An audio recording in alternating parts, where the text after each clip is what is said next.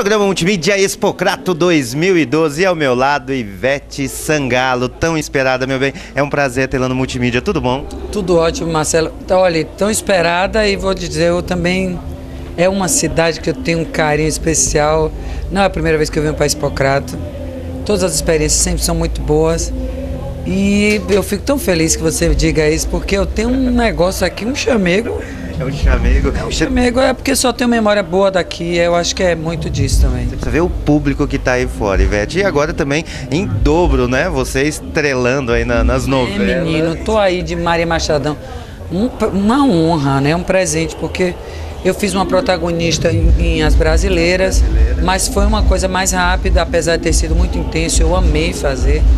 Mas Machadão, ela tem uma personalidade, tem uma história. A gente conseguiu é, eu consegui, junto com o diretor, estudar a história dela, lendo o livro, entendendo um pouco o espírito. É, um, é legal isso, o personagem tem uma história, tem uma vida antes daquela apresentação.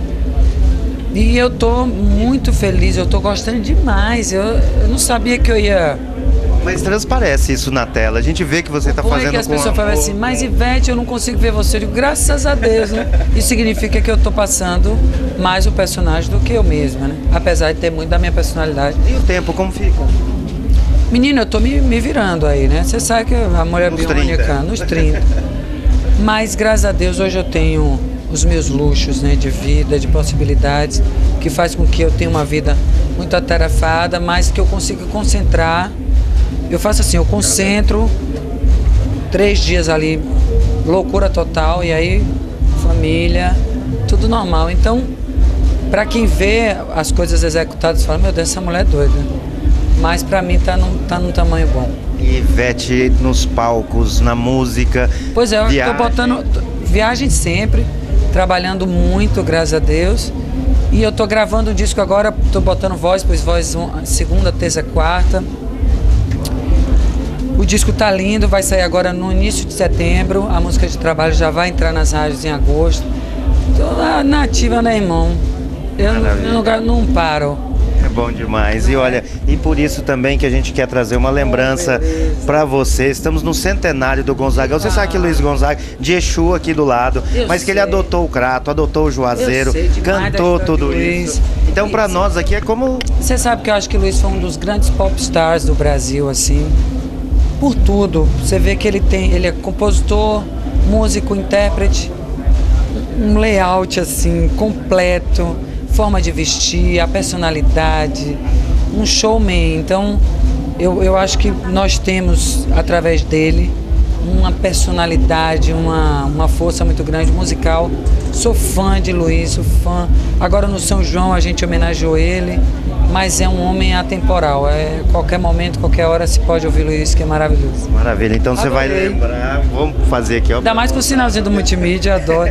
M de multimídia, de Marcelo. Marcelo tá ótimo. Aí. Lindinho, não é? Gostou? E eu botar do lado do meu paticício. Meu paticício, que já levou. Meu bem, muito obrigado. Obrigada Bom show, sucesso. Beijo ao Crato, que eu quero tanto bem.